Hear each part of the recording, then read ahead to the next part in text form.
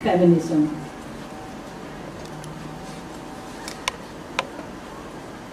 The staple in academic feminism today is what is called intersectionality.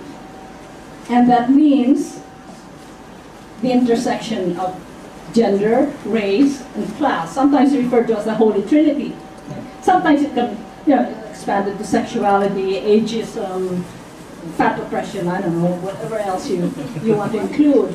But it's identity politics, in other words. I think it's important to recognize that identity politics does not take into account systemic analysis. And that's why I think it's very ironic. Because capitalism has really, I mean, you know, you, you have capitalist triumphalism, right? I mean, Soviet Union's gone, China's gone, become capitalist, social movements, you know, are dead or in decline, and in fact, there are no, there are no social movements to speak of. And yet you have no analysis of capitalism. Instead, you just look at identity as intersecting. So it's so interesting because I think last year I was asked to write uh, just an encyclopedia entry on Asian American feminism, and so I, you know, I had to look at the old um, writings on Asian American feminism, and I came upon a phrase that I also used myself, but sort of forgot, you know, um, in response to white feminists, feminists of color talked about their oppression as a triple oppression. And by that, they meant sexism, racism, and capitalism. It's very interesting because I myself had used that, but I just didn't even think of it this way. And I thought, hmm,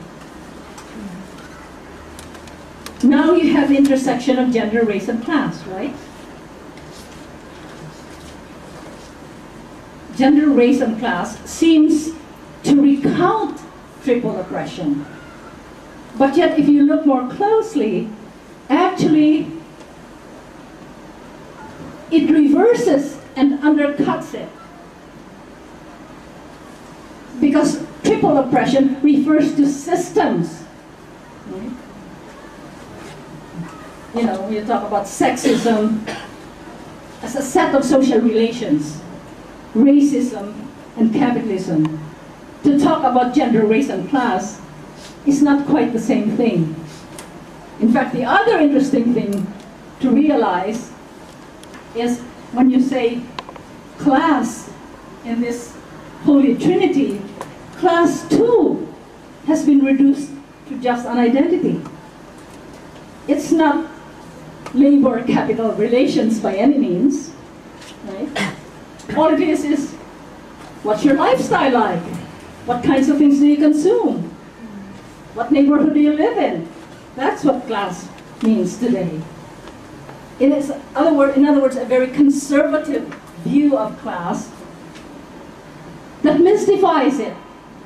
Okay, that's actually the word I want to, want to use. That theory formation today that claims to be progressive actually serves to mystify social relations, which to me, if you're using a materialist view of the world, should be no surprise, because we're living in a, in a neoconservative period. And you would then expect theories that come out, you know, to be reflective of that conservatism, and it certainly does.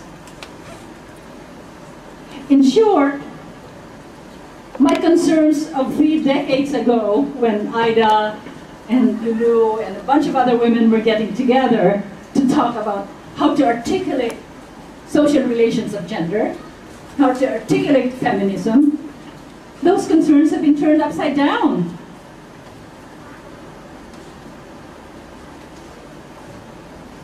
I would have welcomed